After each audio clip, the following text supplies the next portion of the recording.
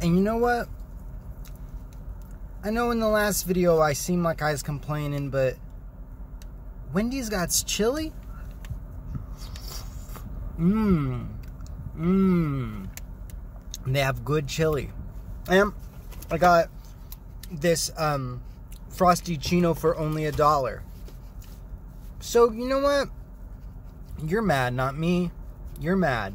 I got it good.